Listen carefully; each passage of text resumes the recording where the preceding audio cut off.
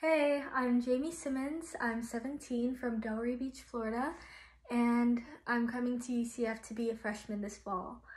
One interesting fact about me is that I play guitar and bass, and I'm actually minoring in music so I could learn more about the theory behind it.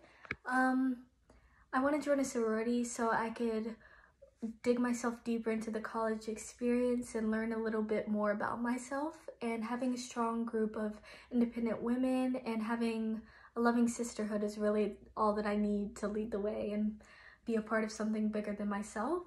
So yeah, I can't wait to meet my sisters and make fun memories together throughout college and I can't wait to meet you all. Bye!